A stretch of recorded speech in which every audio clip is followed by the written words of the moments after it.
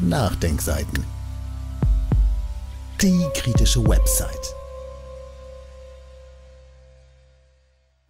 Ein kurzer Gedanke zur Reichweitenerhöhung britischer und amerikanischer Raketen im Ukraine-Krieg. Ein Artikel von Jens Berger.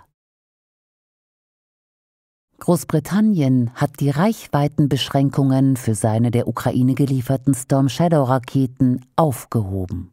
Die USA werden wohl schon bald nachziehen. Russlands Präsident Putin sieht das als direkte Kriegsbeteiligung der NATO-Länder und kündigte bereits Gegenmaßnahmen an. In Deutschland scheint die Gefahr, die durch diese Eskalation ausgeht, noch nicht angekommen zu sein. Dabei wäre es höchste Zeit, jetzt auf die Bremse zu treten. Eine Aufhebung der Reichweitenbeschränkung wäre nämlich in der Tat eine direkte Kriegsbeteiligung mit möglicherweise schwerwiegenden Folgen. Der frisch gewählte britische Premier Keir Starmer hat ein Talent für politische Lügen. Zur Reichweitenerhöhung der von Großbritannien an die Ukraine gelieferten Raketen sagte er gestern, die Ukraine hat ein Recht auf Selbstverteidigung. Dieses Recht unterstütze Großbritannien voll und ganz und biete in diesem Kontext Ausbildungsmöglichkeiten an. Aber wir suchen keinen Konflikt mit Russland. Das ist nicht im geringsten unsere Absicht, so Starmer.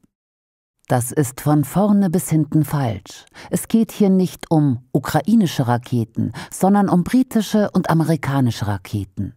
Und es geht um die Zieldaten. Die Ukraine hat nicht die Möglichkeiten, exakte Zieldaten tief in Russland zu ermitteln. Diese Daten kommen von NATO-Staaten, allen voran der USA, aber auch von Großbritannien. Und es geht um die Frage, wer die britischen und amerikanischen Raketen programmiert. Spätestens seit dem abgehörten Gespräch deutscher Generäle, den sogenannten Taurus-Leaks, wissen wir, dass die Briten die Raketen vor Ort programmieren. Hören Sie hier einen Auszug aus den Taurus-Leaks, die Aussage von Luftwaffengeneral Ingo Gerhards. Also wenn es zum Beispiel darum geht, die Missionsplanung zu machen, ich weiß, wie es die Engländer machen. Die machen es ja komplett im Reachback. Die haben auch ein paar Leute vor Ort. Das machen sie, die Franzosen, nicht. Also sie QCen auch die Ukrainer beim Beladen des Scalp, ne? weil Storm Shadow und Scalps sind rein vom technischen Aspekt relativ ähnlich. Zitat Ende. Als Reachback-Verfahren wird in der militärischen Fachsprache die Einsatzoperation aus dem Heimatland bezeichnet. Bei Marschflugkörpern heißt das, dass die gesamte Programmierung der Einsatz- und Zieldaten nicht vor Ort in der Ukraine, sondern in diesem Falle von den Briten in Großbritannien vorgenommen wird. Zusätzlich unterstützen die Briten, so General Gerhards, die Ukraine auch vor Ort. Bei den Amerikanern dürfte die Programmierung ähnlich verlaufen. Wir halten fest, es geht um britische und amerikanische Raketen, für die die Briten und Amerikaner die Zieldaten liefert und die von britischem und amerikanischem Personal programmiert werden. Die Ukraine ist lediglich der Ort des Abschusses und ihr Abwehrkampf die öffentlich vorgetragene Begründung. Wenn wir das beiseite lassen, handelt es sich um britische bzw. amerikanische Angriffe auf russisches Territorium. Wenn das keine direkte Kriegsbeteiligung ist, was ist, was soll es denn dann sein? Und genauso bewertet die russische Führung die angekündigte Reichweitenerhöhung. Großbritannien und die USA spielen mit dem Feuer. Wenn die Bundesregierung tatsächlich eine Eskalation des Krieges verhindern will, muss sie diesen Wahnsinn stoppen und sofort Druck auf ihre Bündnispartner ausüben.